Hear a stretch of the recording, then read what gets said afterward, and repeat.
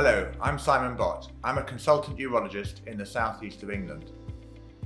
When I started doing prostate biopsies 15 years ago, I was struck by two things that were wrong with the biopsy from how I saw it. First of all, we did a TRUS biopsy where we had no target to hit, and also there's a high rate of sepsis, about 5%. That's why I was one of the first, with colleagues, to describe a template prostate biopsy, where we saturated the whole prostate with multiple biopsies. We did find all the cancers that need to be found, but we also found a large number of cancers that didn't need to be found. We also subjected patients to a general anaesthetic as we were taking 60 to 80 biopsies commonly. With the advent of MRI, things changed. We could now see the lesion we needed to target. But we had the problem we couldn't do a biopsy in an MRI scanner, at least not easily. That's when fusion biopsies came along. Here, we take the MRI scan, we outline the prostate on the MRI, and we outline the abnormal area. We then take an ultrasound scan and create a 3D model of the prostate on ultrasound. And then using elastic fusion, we merge the MRI picture with the ultrasound picture so we can see the targeted area from the MRI using ultrasound. I think fusion biopsy is much more accurate and therefore we can take fewer biopsies. This means it's easier for the patient to undergo and we can do this procedure under local anaesthetic. If you do this procedure under local anaesthetic, it has to be patient friendly. It has to be the patient is not in too much discomfort. This means that I prefer to do this technique on the left lateral position rather than in the lithotomy position. Patients lie like they did for a TRUS biopsy and have a biopsy taken without the indignation of having their legs up in the air and a transrectal probe placed in the rectum.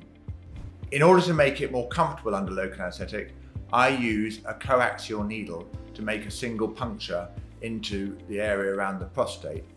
This can be infiltrated with local anaesthetic and then the needle can be targeted to different directions using the same needle so that the skin is not punctured multiple times. This makes the whole procedure much more comfortable for the patient.